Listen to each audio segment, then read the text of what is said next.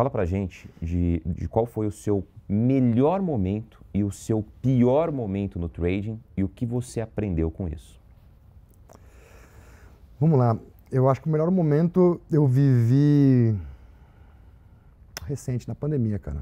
Eu acho que eu tive meu, meu melhor ano de day trade na pandemia. Então foi onde era um mercado de alta volatilidade, é, que é onde a gente fizer a coisa certa, é onde a gente mais faz dinheiro, porque a gente consegue... Porque o mercado anda, né? Retornos por risco muito assimétricos. No mercado como hoje, dificilmente você consegue algo 3, 4 para 1, é difícil. Você consegue, é. né? um dia como hoje que subiu muito, sim, mas dias mais travados. São mais atípicos, né? Exatamente. Ali você conseguia, eu operava ações na época. É, operava dólar também, mas muito mais ações. E, sei lá, entrava com stop de 10, 15 centavos, chegava a pegar 3, 4 reais. Né? Comprando companhia aérea. Enfim. Aquele estresse de mercado realmente forte. Então, foi um momento onde eu, eu me testei, eu já tinha uns 15 anos aí de pregão, uhum. então bastante tempo de, de, de experiência, e aonde eu coloquei, consegui colocar em prática muito é, do que eu aprendi durante muitos anos, né? E, e funcionou. Mas o momento mais difícil, aliás, até saiu uma matéria há um tempo atrás ali, que a ideia era para falar né, um pouco do meu histórico, e aí puxaram esse gancho uhum. no momento duro e virou matéria, porque obviamente isso vende, né, Gui? Então, Sim. e muita gente se identifica. Eu acho que é, é muito mais ensina isso. demais, né? Exatamente. E eu quis deixar no final foi uma mensagem de aprendizado que eu, eu quero tentar fazer aqui. 2019, meu filho tinha é, um ano, ele tinha nascido há pouco tempo. E, e, eu sempre operei, em conta real, continuo operando, inclusive. E, tá com cinco aninhos hoje. É, ele tá com, fez seis, fez seis, agora, Gui, fez seis agora. Então, ele tinha quase um ano, nasceu em junho. E eu lembro que... Nasceu em junho? Nasceu em junho. Que é, dia? 28. Eu nasci é. dia 13, cara, é. quase ali, ó. A gente, tem vários amigos de, Legal. de junho ali, Gui. E aí? E aí eu lembro que é, eu vinha num período muito fértil, acertando muito. Eu estava com 62 pregões positivos. Né? 62 então, seguidos? Seguidos. Uns ganham um pouco maior, outros um pouco menos. Então eu estava com. Né, a gente pode falar de ego, mas eu estava com minha autoestima muito alta, achando que. Estava inflado? Inflado, estava. Eu lembro de operar, Gui, é, assim, ó, conversando com outras pessoas. Sabe assim? E estava tudo funcionando muito bem. Às vezes o plano pequeno, mas estava tudo fluindo. Eu lembro que eu tinha feito um capital razoável nesse período. Eu operava, tentar trazer números para ficar um pouco mais tangível para as pessoas ali. Lá, trabalhava com stops na faixa de mil reais, de 500, ah, 800 reais, vai, digamos assim, era algo entre 500 e mil reais, para buscar ganhos no dia de mil a dois mil. Tá? Tá. Mais ou menos para ter uma espécie, de uma espécie de gerenciamento que era o que eu fazia.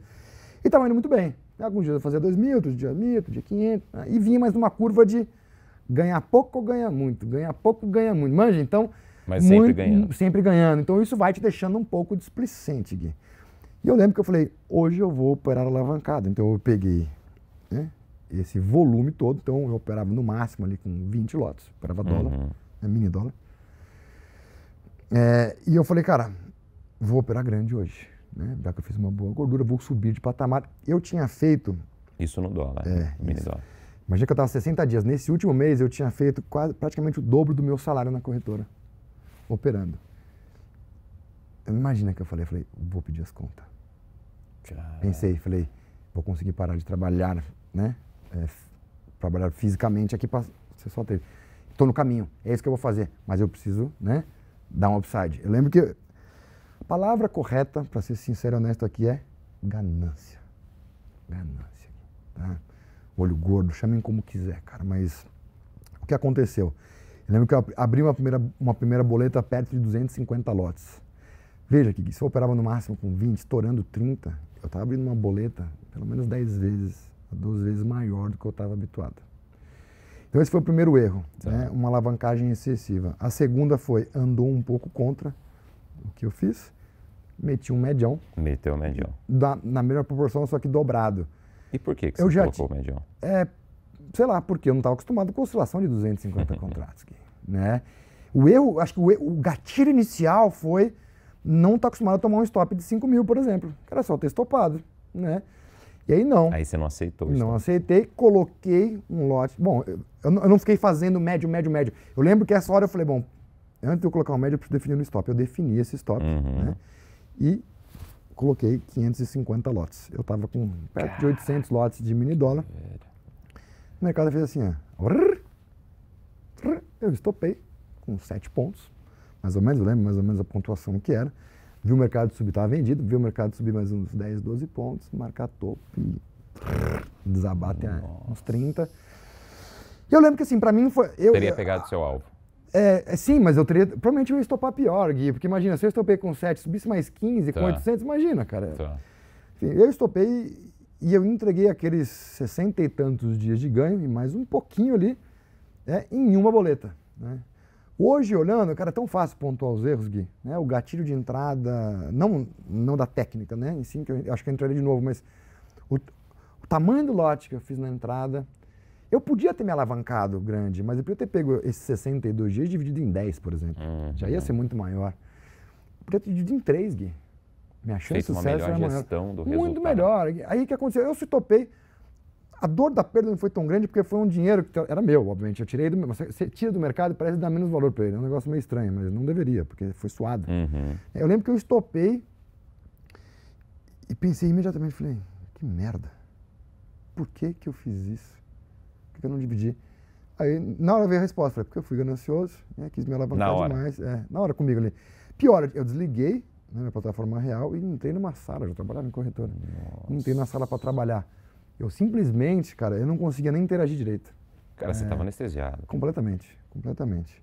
E aí pensei, o que eu fiz? O que eu fiz? Sabe assim, ficava aquela coisa de ficar te martelando Aquele na hora. autoflagelo emocional é, é. ali. Que não leva a lugar nenhum, na verdade, mas Sim. você tem que entender é, de onde que veio aquilo, né? De onde que veio essa ganância. Porque o mercado, é, a gente é consistente? Não, a gente está consistente em algum momento. Né? E a gente tem que man e manter isso envolve fazer vários comportamentos que não são fáceis, né? que não é gostoso. E, a ganância vai vir, o medo ele vai aparecer, que é o que veio depois. Né, Sim. É, a ganância vira medo depois. Né, Exato, eu não conseguia clicar Porrada, depois, porque eu estava com medo, tomei uma baita de uma trolha ali, entreguei tudo, eu falei, cara, é, revi, revi, revi o trade mil vezes. Eu teria feito aquele trade outras vezes, mas teria estopado. Gui, era só ter pago mais um stop. Exato. Quantos a gente não paga ao longo da carreira? Exato. Não pode um stop virar um acidente, né? E aí foi que eu aprendi mais uma coisa, como toda lição, né? É, padronize o risco. Não corra riscos assimétricos. Essa simples variável, né? essa simples premissa ou ferramenta de padronizar o risco que a gente corre em cada operação, ela te protege de tantos erros que a gente pode cometer, né? de fazer médio conta, de operar alavancado demais, de não aceitar stop. É isso, é aquele risco que ocorre. Uhum. É, então, essa e cada um vai ter o seu padrão. Né? Você pode, às vezes, correr um pouco menos num trade mais arriscado, ou separar aquele risco. Né? Você quer fazer uma operação escalada, então você vai correr meio aqui, meio no outro. É diferente. Mas nunca ultrapassar isso. Se o seu risco é 100 reais, mil reais, não sei o que é, é isso que você tem que correr. E quando você vai crescer sua mão, você não tem que passar para. Né? Sobe 10%, sobe Exato. 15%. Dá uma beliscada para cima. Né? Dá uma beliscada para cima.